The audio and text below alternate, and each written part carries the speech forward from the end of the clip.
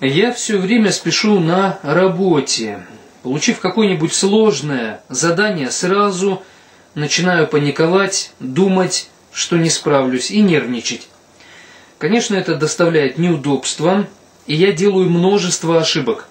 Если бы моя жизнь была более последовательной и размеренной, проблем было бы меньше, а так большую часть времени я в панике, потому что ничего не успеваю. Подскажите, как справиться с этим? Вот такое сообщение пришло не так давно на адрес электронной почты ко мне. Спасибо, Маше, за эту откровенность. Как с этим справиться, Маш? Вы уже с этим справляетесь, потому что вы ищете выход из проблемы. Причем вы достаточно хорошо формулируете проблему, а это означает, вы ее решили практически наполовину уже. Ну а теперь э, вторая половина, она уже зависит от части от меня. Итак, вы пишете, я все время спешу на работе. Получив какое-нибудь сложное задание, сразу начинаю паниковать, думаете, что не справлюсь и нервничать. То есть вы спешите на работе, потому что боитесь не успеть выполнить задание. Потому что боитесь выполнить его не так, как нужно. Потому что не уверены в себе.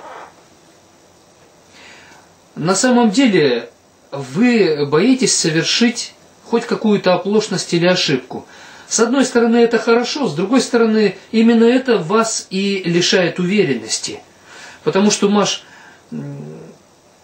то, что вы делаете на работе, оно ведь не всегда является ну, настолько важным, насколько вы это считаете важным. Вы все время спешите на работе. Я думаю, что вот эта спешка, она ведь э, зависит не от э, тех заданий, которые вы получаете. Она зависит от того, как вы оцениваете свои способности. И, скорее всего, вы себя недооцениваете. То есть вы не уверены в том, что сможете проанализировать информацию, сможете ее правильно оценить, сделать выводы. Для этого вам требуется совет – с людьми более опытными, мудрыми. То есть у вас на работе есть коллеги, которые дольше, чем вы работаете, знают больше, чем вы, более компетентны. Подружитесь с ними, советуйтесь с ними, общайтесь. Заходите на форумы в интернете специализированные, где обсуждаются точно такие же проблемы, как и у вас. Советуйтесь больше и чаще. Кроме того, вам было бы неплохо поговорить с вашим отцом, с мамой, с теми, кто знал вас в детстве. И знал, что у вас это проявлялось неуверенность, но вы как-то ее преодолевали, что-то вам в этом помогало. Или вы, испытывая неуверенность, все равно решали задачу, которая перед вами стояла тогда, школьные годы, а может быть даже и когда вы дошкольником были. Поговорите с ними. Расскажите им о своем состоянии нынешнем и скажите, а что помогало мне раньше преодолевать неуверенность?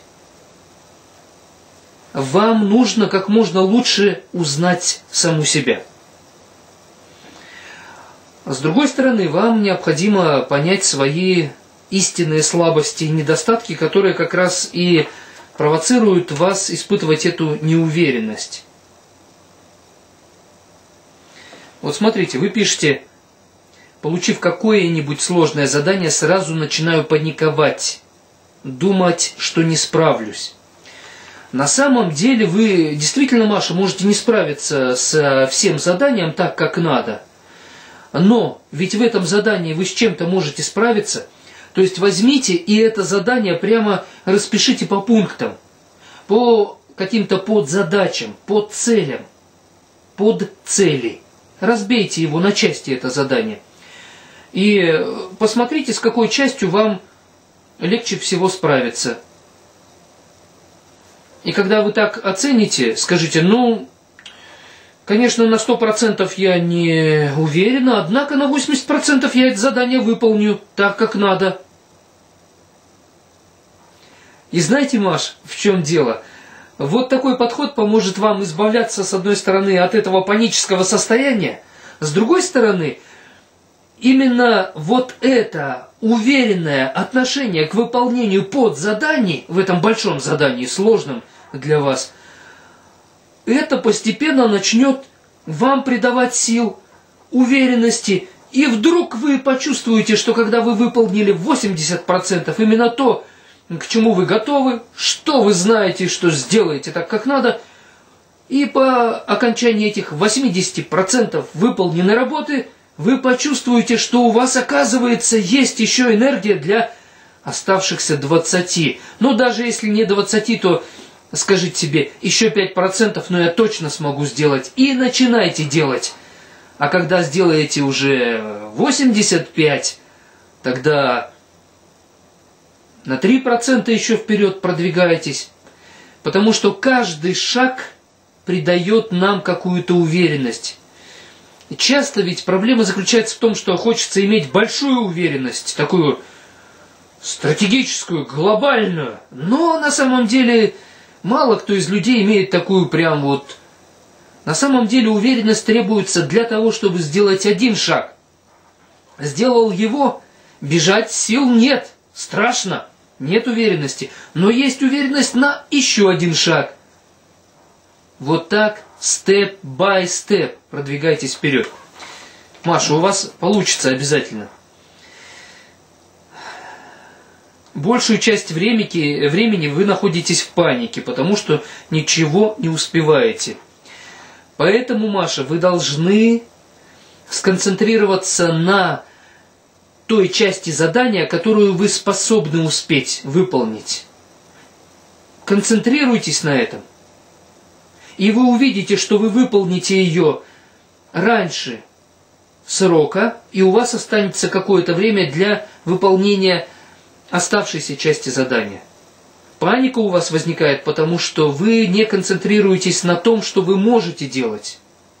Вы отвлекаетесь на то, что вызывает у вас действительно страх и то, в чем вы не совсем компетентны. Вы концентрируетесь на том, на что вы не можете повлиять, и именно это вас и выбивает из колеи. Маша, Бог вам в помощь.